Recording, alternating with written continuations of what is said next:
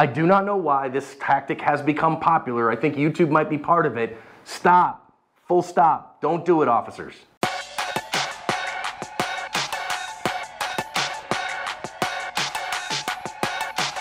Hi everyone, welcome to today's bonus badge cam lesson here at Active Self Protection or eh, badge cam and dash cam today. I'm your host as always, John Correia. With me, our co-host, Mike Williver. Today's video comes to us from the land of enchantment, Santa Fe County, New Mexico. Zero9 Solutions is a member of our holster consortium focused on duty gear for law enforcement officers and for private citizens who are using load-bearing vests. They got all kinds of great stuff. Their radio holder is incredibly cool and really good. Check them out at 09holsters.com in the link in the description.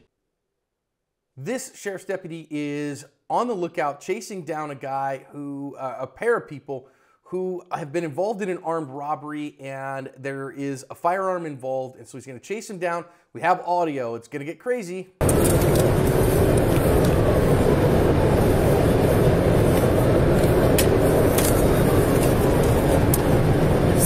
to six nine or the primary unit. What are the charges at this time? What charges do we have?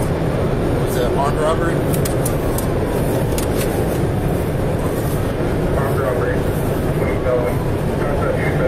about 125. Ten for what? Did he damage the weapon?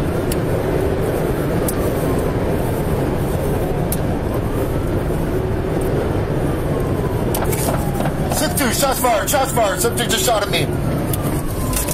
Shots fired, shots fired. Subject is shooting. Subject is shooting. Shots fired, shooting at our unit.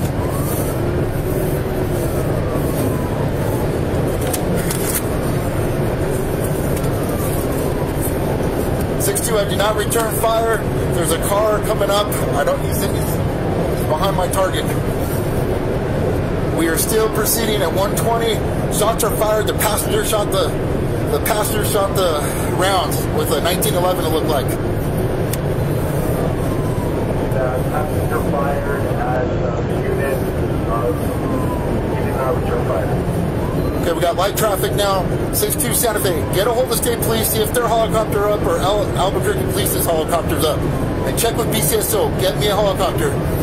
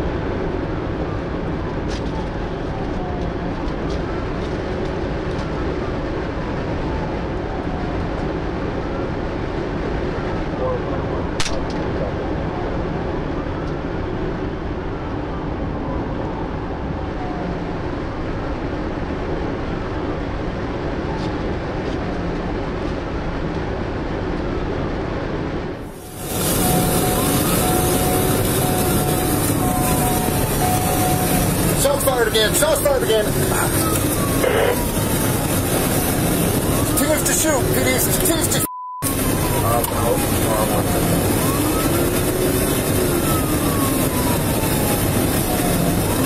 More shots fired. Keeps to shoot. I've got a couple rounds to my vehicle. 80 on 10 4, or Santa Fe on 10 4. Continuing 124. Yeah, 10 4, it is a passenger. Driver does not fire passenger out the passenger window. Fired at me several times, return fire. It is a deadly force situation.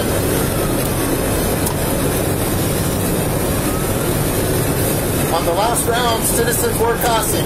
Citizens were passing him when he fired at me, putting them in danger as well. Does not have due regard for the public is a danger.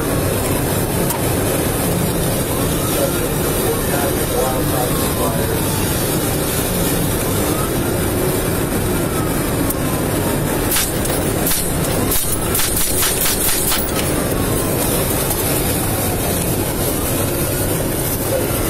mile west. Four mile west.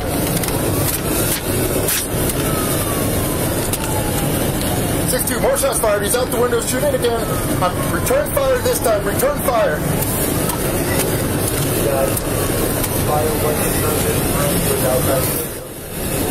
Vehicle slowing down.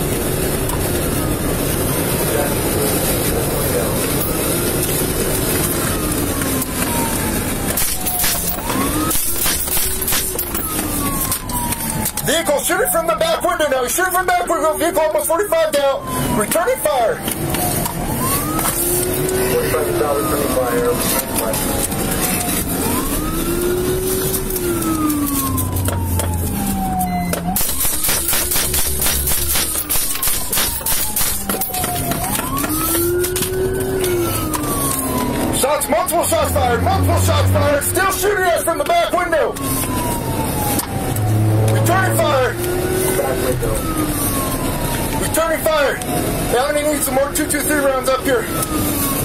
Vehicle's about 45 out. Stand by.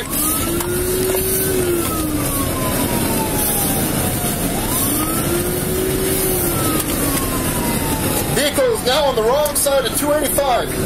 285. All right, now he's back over. Okay, he's about 45 down. 45 down. Family stop. Family stop. Stop. Forty-five dollars. If you go read the news stories that I've linked in the description, the passenger actually passed away at the scene. The driver made it through this one. He is facing a litany of charges. No one else was injured, and we got to think about lessons. No, don't do it. This is just a bad idea. I, I, I'm telling you, it's a bad idea. Now, that said, if I've ever seen it done remotely correctly, this is how, so we'll talk about that too. We have a new member of the Special Pants Brigade. Hmm. You know, Mike, we do got to start right at the beginning thinking about this one because this officer's moving really fast. And of course, you know, you're going to be amped up. You're looking for an armed robber. Got a little dangerous here right at the beginning, though, with somebody not hearing the sirens and those things. Of course, you don't want to cause collateral damage and cause a car wreck on your way to stop the bad guy. Every time you're in a pursuit or driving in an emergency response type of a mode, officers, deputies, please listen to me when I tell you this. You got to be careful. You got to clear intersections. Even if it's green, you still got to pay attention and look because this could have ended really, really poorly.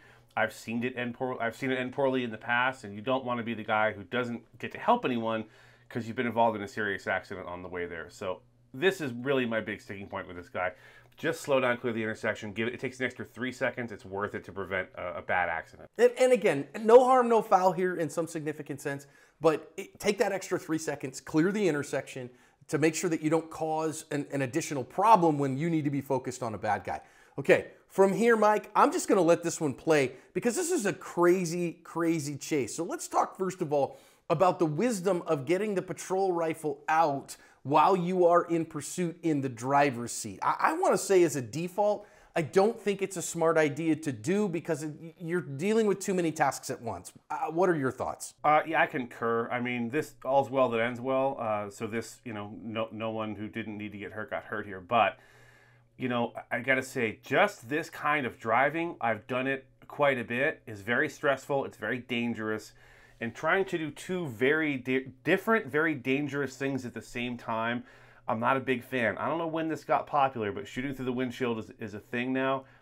You know, I'm not going to second guess this officer. I probably would have uh, held back, called for an air unit, followed from a distance, uh, and tried not to have a running gun battle because there's just no way. You're, you can't practice this skill on a range. There's no there's no driving shooting range you can go to to practice this stuff. Um, you can practice shooting through the windshield, but while you're driving at a high rate of speed and being shot at, I'm just I'm just not a fan. I just don't I don't like the idea of it only because there's so many things that could go wrong. First of all, I hope hope he's wearing eye protection. Let's start there. Yeah, let's start there. Is he got his eye protection on and and shooting a carbine inside of a patrol cruiser with no hearing protection on?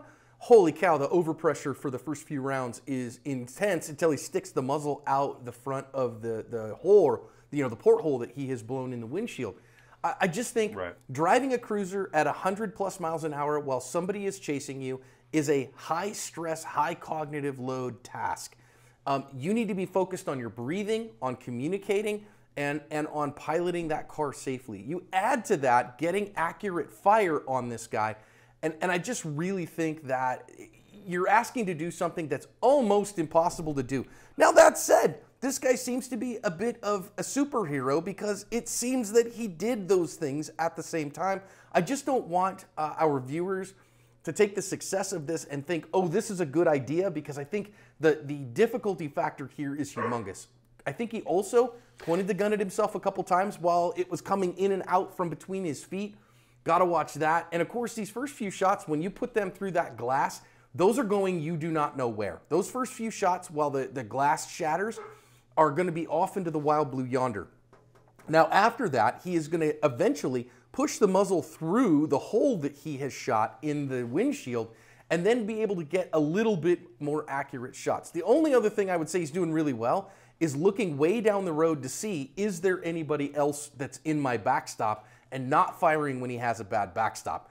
Notice here though, Mike, he also picks up his microphone, so he is holding his rifle, driving with his forearm, talking on the radio. I, I, just think, thank God nothing bad happened here, but this is a recipe for a disaster. I gotta say, first and foremost, I love how aggressive this guy. This is a meat-eating crime fighter. This guy wants to go catch the bad guy, and, And he's got bad guys in front of him. being injured.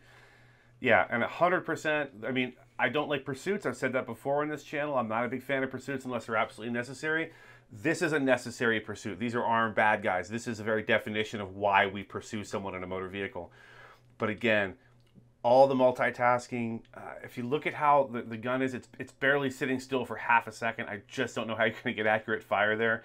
So re- reiterate, I'm not a fan of shooting through the windshield. Let me preface it by saying while you're moving. If you're stationary and shooting through the windshield is an option, that's a whole different ball of wax. Yeah, if you're not But while driving- the car is moving, especially at high speed. Yeah, I also think even okay, so so if I have two officers in the vehicle and I'm the passenger officer and I'm not dealing with talking on the radio and driving the car, maybe. And I'm not a big fan of that even without the driving aspect of it because of how much motion there's going to be, how difficult it is to get good hits, all the other things that are going to create problems. I will say as well though, I really think this officer shows good fire discipline in in content, you know, making sure that he does not take shots where he does not have a good backstop. Where as soon as he sees traffic, he pulls that back, not going to take shots at that, not going to endanger the public. Um, and he's in a very rural environment where his backstop, as he goes over these kind of rolling hills, ends up being asphalt, ends up being the hill here or whatever. So, so overall, it's probably if there's a way to do it, he's probably doing it right. I just watched the original of this and, and watching the whole thing, I was just waiting for him to crash his cruiser or or put a round in somebody that he didn't. Yeah, I just don't like the. I know I sound like a broken record. I'm, not a fan of shooting through the windshield. I, I think at some point um, this has become like the, the, the new the new hotness, the new coolness, and LE is getting getting into shootout. We had a guy on the podcast uh, who shot through his windshield, uh, Tim Grammons from Skokie PD in Illinois. Now at the time he was stationary, and that was a situation where he had a bad guy actively approaching him and shooting at him. So getting out of the car, there was no time. He had to put rounds through the windshield to get at that bad guy. Again, here I would really rather see him just back off. There's where's this guy going to go? First of all, there doesn't appear to be a lot of side streets or or, or uh, you know off ramps or anything like that. So we could watch this guy from half a mile away. You know what I mean? And have and, and not be in a running gun battle. And I don't know if they have air cover or not, but you know, just there's I would prefer to see that rather than this. Yeah. Um, but again, love the aggression. I will say this officer kept pretty calm. And and again, I would really strongly recommend that that all officers, if you're involved in a chase, practice your combat breathing, guys.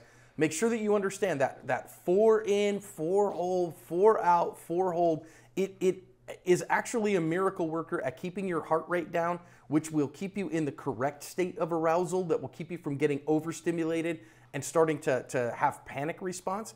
And I know some people are like, that sounds like Wusa and yoga and all that stuff. It actually works. It's evidence based. So practice that combat breathing if you start thinking about I'm going somewhere. You know, four in, four hold, four out, four hold, lowers your heart rate, lowers your cortisol levels, keeps you in the fight better. Now, okay, fine, they get this guy to finally crap up his vehicle and and again, the guy that was shooting at him I think was the passenger out of the back window and out of the side windows. So that guy shuffled off this mortal coil, and and okay, that's great. I think it's kind of interesting to hear, Mike. I have never seen an officer ghost ride the whip like this, and I think that that was an interesting technique to put it in neutral and then let it guide you down where you might end up having to shoot someone and use it for moving cover. Never seen that either. Uh, I suspect one or more of these troopers might also be on a tactical team of some sort. They seem very, very switched on.